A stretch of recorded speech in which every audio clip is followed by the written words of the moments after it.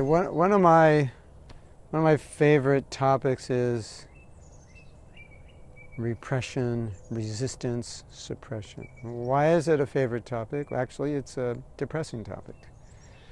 But it's a very good topic to talk about because once you overcome the depression, then it's amazing.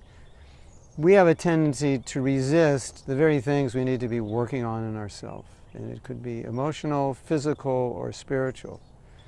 And resistance means we tend to run away from things which we perceive to be difficult. Fear is just a perception that something's going to be painful or uncomfortable.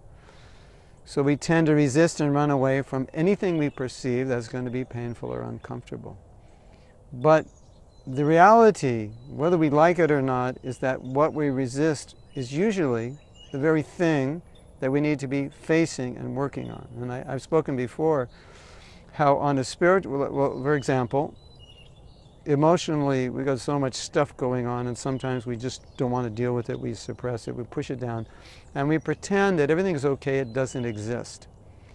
And I think we also do that spiritually, that because we're spiritual beings, if we don't face our spiritual selves, our spiritual reality, if we don't don't deal with our divine connection and pretend that everything's okay or there is no such thing as divine connection or we make up our own concepts of spirituality that suit us without confronting traditional teachings, gurus, wise men, sacred literature. It's a kind of um, suppression of a reality that we need to be facing. It's a kind of resistance out of fear that there might be a truth that's going to be uncomfortable. Or we talk about surrender. In spiritual circles, we talk about surrender. Surrender the ego. I don't want to surrender my ego. Surrender your pride. I don't want to. Become humble. I don't want to. So we reject these things because we perceive them as uncomfortable. We have so many illusions about how surrendering these things would make us unhappy. Or we may even develop philosophies such as it's not even necessary, or you, you create your own path and you don't have to deal with any kind of absolute ultimate truth. I see these things as all resistances of things that we are afraid to deal with. And when we confront the reality that we're afraid to deal with them, then when we face them, we can actually make progress. So the point is, anything that you strongly resist should be a red flag.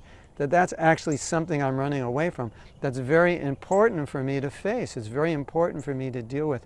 And if you look at your life, you're going to see so many things that you resist, that you shouldn't be resisting, that you need to confront, you need to deal with.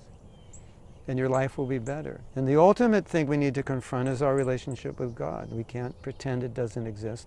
And ultimately, where we go after death, or what the future what, what happens after this body is finished. We need to face these realities. And so many of us resist dealing with it. Talking, don't talk about it. It's depressing. I don't want to talk about this. Talk about what we're going to do this weekend.